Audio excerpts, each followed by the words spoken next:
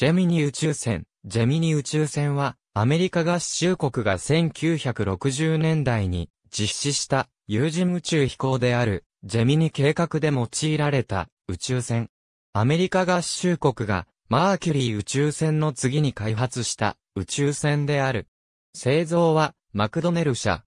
アメリカ合衆国最初の宇宙船であるマーキュリー宇宙船は数と乗りであり軌道変更能力もないなど能力も限られたものであった。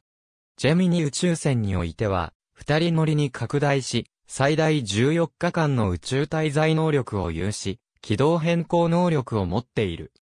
軌道変更能力は、ランデブーやドッキングに必要なものであり、これは来たるべき月飛行計画へ向けての能力拡大であった。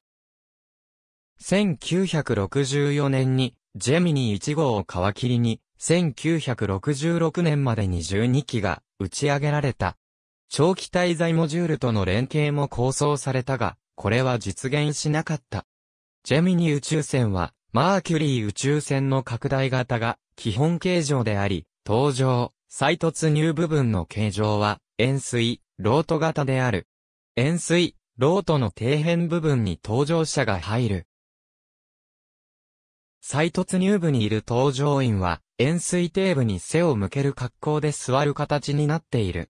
キャビン内は狭く、体を動かす余地は少ない。座席は、左側が船長、右側が操縦士である。この再突入部は、チタンなどでできている。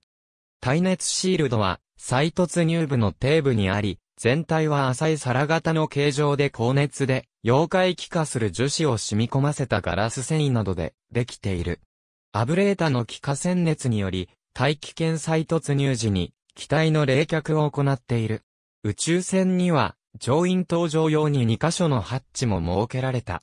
これは、軌道上において、宇宙遊泳を行うためにも用いられる。大気圏内での非常脱出用に射出座席も装備された。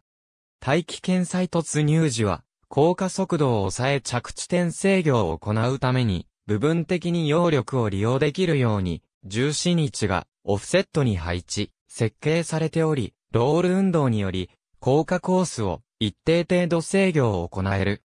広報装置やテレメーターを含む通信機器なども、再突入部内にある。音声通信装置は、UHF2 機、HF1 機。軌道上における、ランデブ及びドッキングもジェミニ計画の目的であり、レーダー及びドッキング装置も円錐、ロートの先端部分に有していた。パラシュートも先端部分に格納している。大気圏降下時は先導パラシュートの解散後、3個のシュパラシュートが解散する。このほか、再突入時の姿勢制御システムのスラスタも先端部に装備された。RCS は2系統準備され、冗長性を確保していた。マーキュリー宇宙船では、限定された逆噴射装置を有しているものであったが、ジェミニ宇宙船では強化された推進部及び逆噴射装置を有し、姿勢制御用のスラスターも備えている。推進部、逆推進部は円錐の底辺部についている。推進剤はヒドラジン4酸化に窒素を用い、逆噴射装置のみ固体燃料ロケットである。推進部は軽量化のために、マグネシウム合金を構造体に用いており、軌道姿勢制御システムが設けられている。お水は16機の小型エンジンであり、姿勢制御に用いる。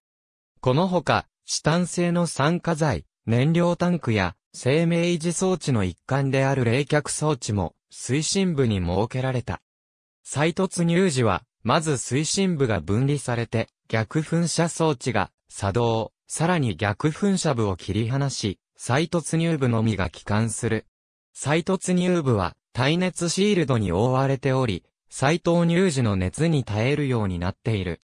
逆噴射装置は4機のロケットが底部中央付近に集中して配置されている。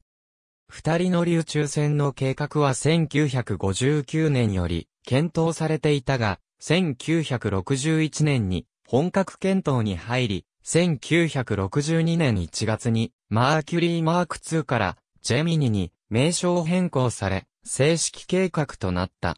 パラグライダーを用いて地上への滑空着陸も検討されたが、これは放棄され、パラシュートによる洋上着水となった。もともと短期間のミッションしか想定されていなかったマーキュリー宇宙船と異なり、前述の通り最大で2週間程度のミッションが想定されていたため、トイレこそ搭載されなかったものの、小便については吸引器を使ってバッグに吸い出す仕組みが用意された。一方大便については排便用のプラスチックバッグに用を足した後防腐剤を入れてよくこね回し、倉庫に収納することとされたが、実際のミッションでは、防腐剤が十分混ざらずに、バッグが破裂するトラブルも発生した。また、排便量を減らすため、搭乗員は打ち上げ3日前から、食事量を制限された。発展型ジェミニとして、ジェミニ宇宙船の再利用や、軍用利用、長期滞在型利用も構想されたが、実用化には至らなかった。ありがとうございます。